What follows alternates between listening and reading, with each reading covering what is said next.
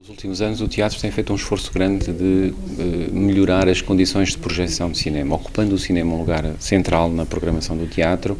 É a melhoria dessas condições de som e de projeção tem acontecido e foi reforçada, inclusive, no último ano, com novos equipamentos que foram instalados no teatro.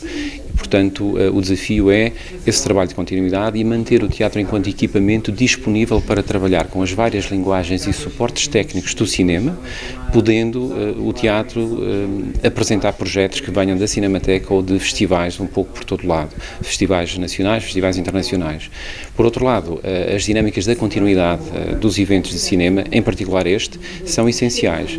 Nós temos uma relação já de, histórica com a Festa de Cinema Francês, é o evento que mais público traz ao teatro e é um evento que trabalha com as linguagens de hoje e com os temas de hoje. E isso é essencial para esta relação plural que nós queremos manter, não estritamente com a cidade, mas também com o público universitário.